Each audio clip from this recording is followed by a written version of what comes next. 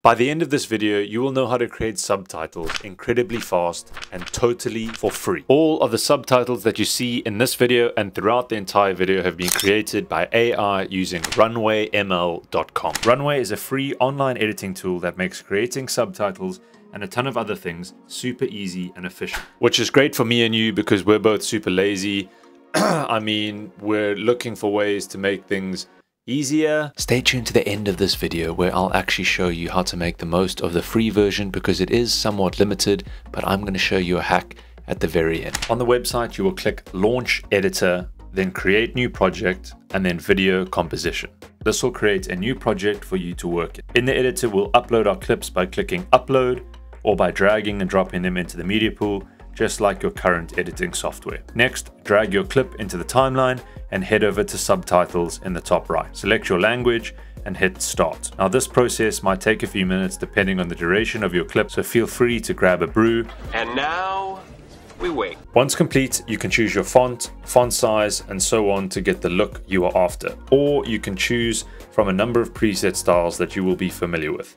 I like the yellow text or the box styles, but you can pick whatever you want. Now, as this is an AI speech and language algorithm, there may be some mistakes in the subtitles, so best to go through and check them all out. You can easily do this by clicking on the text boxes and editing from there. It's just a robot, so you can't expect it to get this perfect. R2D. Now, just like R2D2 bumps into all sorts of things, maybe you could bump into the subscribe button when you are down there. And once you're done, you can select export. The free version lets you export in 720p and the paid version in 1080 and above. Now exporting like this will mean that the entire video that you're putting the subtitles over will be in 720p, even if that is not how you edited the video. If only there was a way to get around this and to use the subtitles we have generated here in our DaVinci Resolve or Premiere Pro software.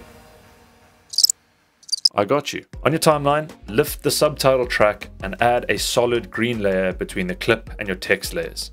Export this clip. Now, this will be a green screen version of your subtitles, which you can easily key out in your editing software over the original clip. This will give you all the subtitles that you needed, and you get to keep your HD footage underneath. Or you can just export the SRT files and use that to generate your subtitles in your editing software. Whichever way you choose to do it, this is a super easy way for you to generate subtitles for any of your YouTube videos. If you like this video, I make loads of other videos on editing and on videography, drones and 3D printing, so feel free to check out the rest of the channel. And also, if you want, let me know in the comments down below what other software you think I should check out. And while you're down there, hit the like button and subscribe if you found any value at all from this. And until then, I will see you guys in another video.